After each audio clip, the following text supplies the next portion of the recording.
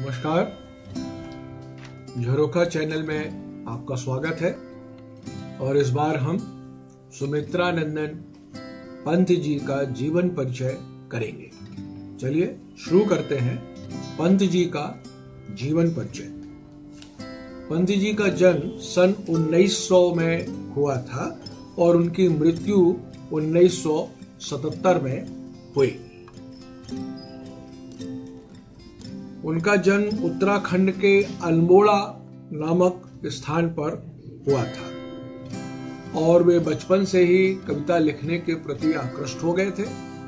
School के दिनों में ही उन्हें उनकी कविताओं के लिए पुरस्कार मिलने लगे थे और कविताएँ प्रकाशित भी होने लगी थी। बाद में उन्होंने निरंतर कविता रचने का कार्य किया और छायावाद तथा प्रगतिवाद के प्रमुख कवियों में अपना स्थान बनाया। रचनाएँ।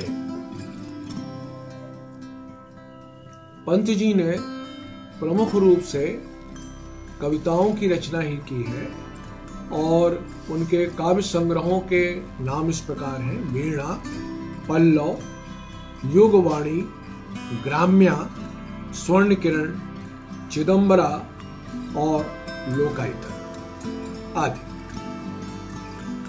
अब हम उनका कला पक्ष जानेंगे। पंत जी ने आरंभ में जो कविताएँ लिखी, उनमें प्रमुख रूप से प्रकृति के प्रति गहरा प्रेम और रहस्यमयी भावना के दर्शन होते हैं। बाद में उनकी कविताओं में प्रगतिवादी चेतना दिखाई देती है और इस तरह वे छायावाद के सपनीले संसार से निकलकर प्रगतिवाद की यथार्थवादी भूमि को अपनाते हैं। उनकी कविता में भाषा की कोमलकांत पदावली और अलंकारों की छटा का विशेष महत्व है।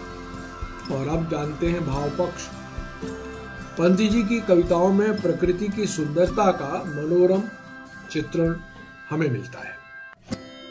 इसके अलावा उन्होंने आध्यात्मिक रहस्यवाद और जानने समझने की चेष्टा दिखाई देती है और विचारों को उन्होंने अपनी कविता का विषय बनाया।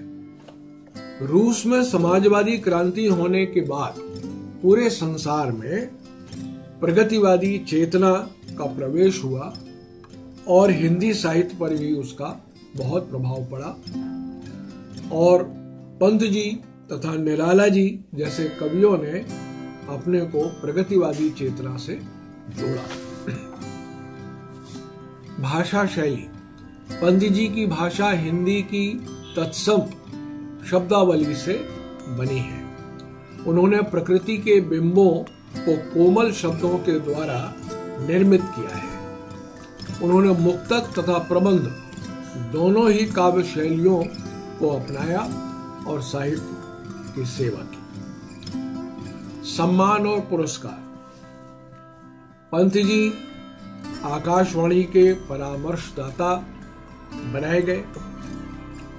उन्होंने लोकायतन नामक एक सांस्कृतिक संस्था की स्थापना की।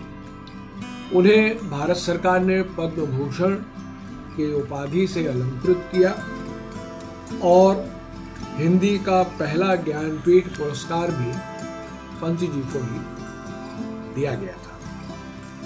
पंत जी ने कविता और बूढ़ा चाँद कविता संग्रह पर 1960 में साहित्य अकादमी का पुरस्कार अर्जित किया था और उनहत्तर में उन्हें ज्ञानपीठ पुरस्कार मिला। इसके अलावा भी उन्हें बहुत से सम्मान और पुरस्कारों से नवाजा गया। तो यह था सुमित्रानंदन पंत जी का जीवन परिचय। कृपया से शेयर कीजिए लाइक कीजिए सब्सक्राइब कीजिए। आपका बहुत बहुत धन्यवाद।